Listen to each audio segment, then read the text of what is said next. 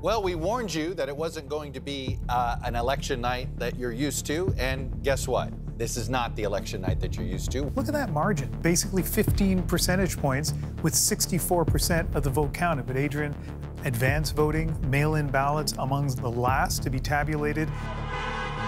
I'm here to tell you tonight, we believe we're on track to win this election. We were getting ready to win this election. Frankly, we did win this election.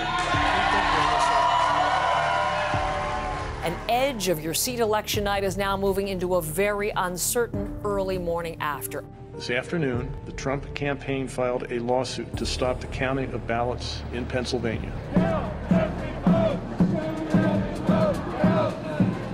Democrat Joe Biden pulling within striking distance of an electoral win as a handful of battleground states continue to count millions of votes.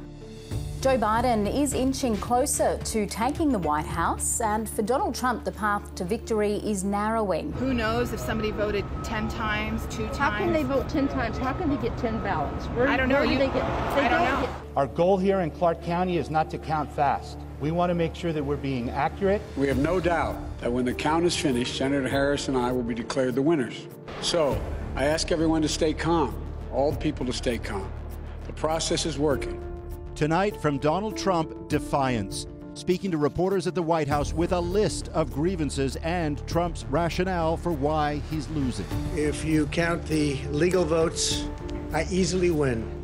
If you count the illegal votes, they can try to steal the election from us. In an election that has seen a record breaking number of votes cast, the race to 270 enters its fourth day as the world watches and waits. Is, is that really just three days? it doesn't feel like it. No. yeah, and, and I mean, I guess the great tragedy here is that the longer the outcome is uncertain, uh, the riper the opportunity. I mean, we saw Trump speaking right there, right? Mm-hmm. For, for disinformation, for lies, for rumors to circulate. Stuff, yeah, right? imagine that woman who believes that there are people out there who voted 10 times. She has no evidence, mm. right?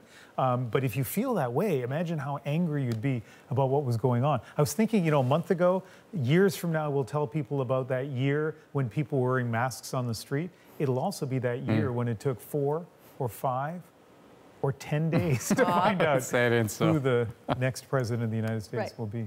That and murder hornets.